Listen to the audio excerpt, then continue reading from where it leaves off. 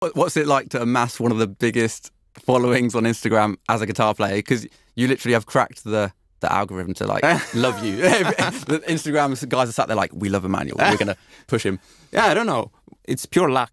I think. I, yeah. I, no, it's not pure luck, but uh, it's a good question because I see so many great guitar guitar players out there on Instagram. Yeah. Uh, who like have a few hundred followers. Yeah. And they like they they uh, should have more. Yeah. And I, oh, I don't, know, I don't know why. I guess I, I present my material in a way that, well, now a lot of guitar players on Instagram present the material like I do. I'm not saying I was the first. Absolutely not. Uh, uh, but you have to you have to like uh, record it in in uh, some interesting way. I rarely just put put the camera right in front of my face, you know? Yeah, I've noticed that sometimes you even like sat near some water and like some crazy background. It's yeah, like, yeah. You just yeah you you're conscious of that.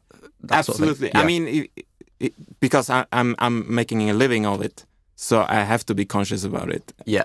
If I didn't make a living of it, I probably wouldn't care as much. But I need views, obviously, because I make uh, advertisement for my lessons on my Patreon yes. page. Yeah, yeah. In fact, do you, want, do you want to just quickly plug your Patreon page because I feel like it's it's such a good resource for everyone listening. Check out my Patreon page.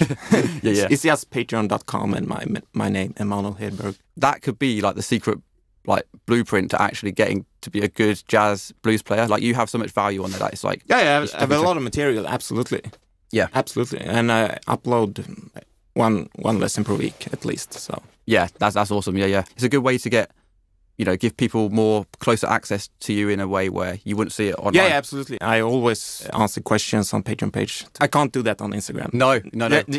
I did that before, but I got burnt out. You know. Yeah. So, so now, now I rarely go in and check check my private messages on Instagram because it's it's crazy. It's a minefield. No, it's crazy. We, we've been talking about that the last few days. It's like you, it's just unmanageable sometimes, and I'm getting to the stage now where I'm thinking like I'm gonna have to. If I wanted to re reply to everyone, I'd have to hire someone to do it. And it's yeah, like, yeah, exactly. Yeah, it's not possible. So now I, I never like go in and even check. But the problem with that is sometimes I miss some interesting, obviously. Well, here's the thing: you, you replied to my DMs. Like I'm, I slid into your DMs, and you're you're there. I'm, yeah, I'm there. So you must like, you must like me, but no, no.